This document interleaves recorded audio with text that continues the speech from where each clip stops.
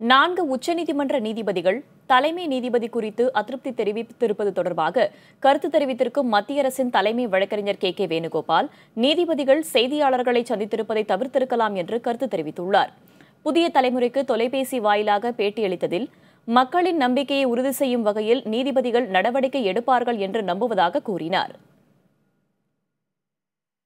That they could have avoided a press conference and could have adopted some alternative means of putting forward their objections.